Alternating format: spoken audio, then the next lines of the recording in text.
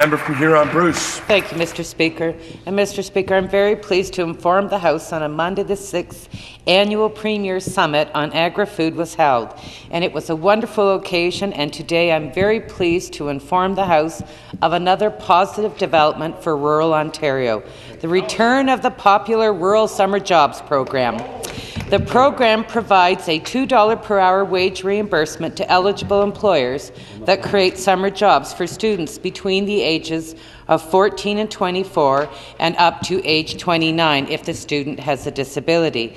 Last year, 106 businesses in Huron-Bruce participated in the program, and that was the highest uptake of the program in the province of Ontario.